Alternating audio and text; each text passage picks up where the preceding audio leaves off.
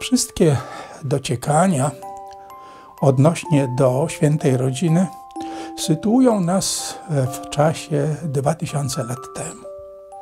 Stąd potrzebna jest roztropność w korzystaniu z danych, z informacji, jakie mamy w Biblii na ten temat, i potrzebna jest pokora, żebyśmy te informacje właściwie odczytywali i spożytkowali. Co wiemy z Pisma Świętego? Znamy rodowód Józefa, który był przybranym ojcem Jezusa. Znamy rodowód Maryi, aczkolwiek ma inny charakter, dlatego że próbuje osadzić Jezusa w historii ludzkości, podczas gdy rodowód e, Józefa e, osadza Jezusa w historii e, biblijnego Izraela. To dwa różne spojrzenia. Te obydwa rodowody z jednej strony nawiązują do tego, co wydarzyło się w przeszłości, ale z drugiej strony nie są zwyczajną historią, lecz teologią historii, religijnym spojrzeniem na dzieje.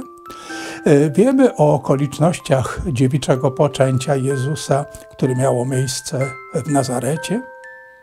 Wiemy o odwiedzinach e, Maryi, matki Jezusa, kiedy spodziewała się jego narodzin u swojej krewnej, która miała na imię Elżbieta, a jej mąż Zachariasz, a więc poznajemy e, przynajmniej niektórych e, członków rodziny Maryi. Wiemy o okolicznościach, znamy okoliczności narodzin Jezusa w Betlejem.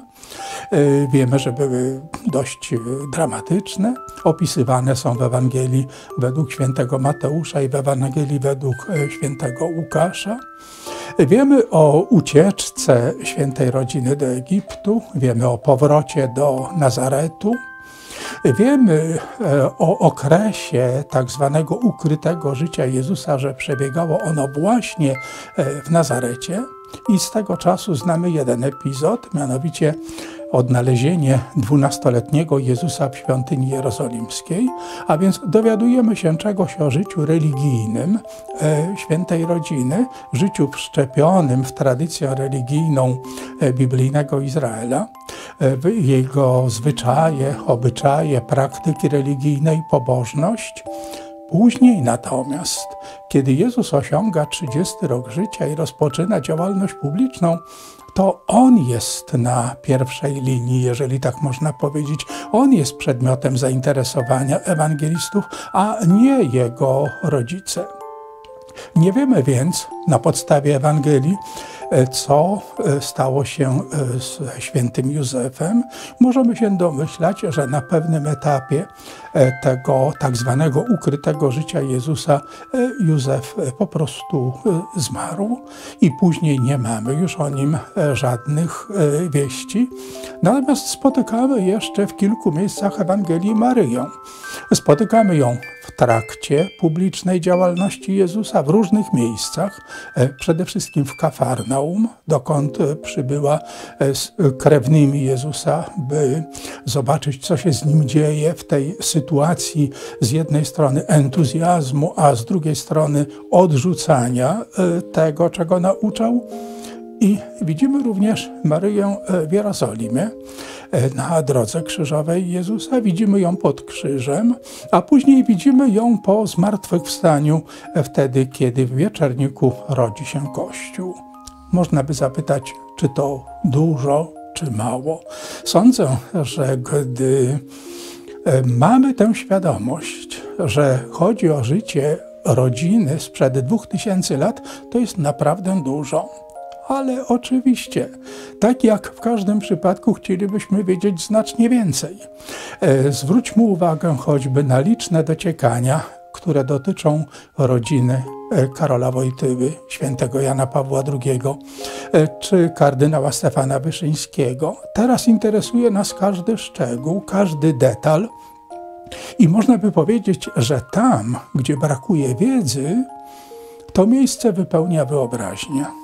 Wyobraźnia, która jest karmiona sercem, karmiona emocjami, karmiona uczuciami, i ta wyobraźnia przetwarza się w legendę.